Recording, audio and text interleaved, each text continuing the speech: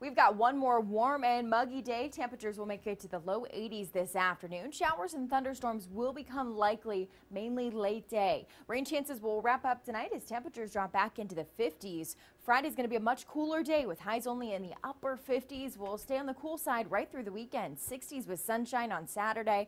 Rain chances back in the forecast Sunday into Monday.